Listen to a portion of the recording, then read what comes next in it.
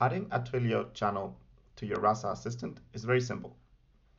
All you have to do is in your credentials.yaml file, add a configuration for Twilio media streams. This is available in the docs, but let me run you through it very quickly. You'll need to provide a server URL, which is the URL where your Rasa assistant will be deployed.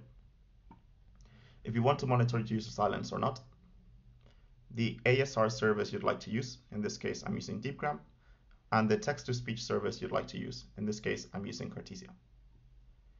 You'll also have to add some configuration inside Twilio.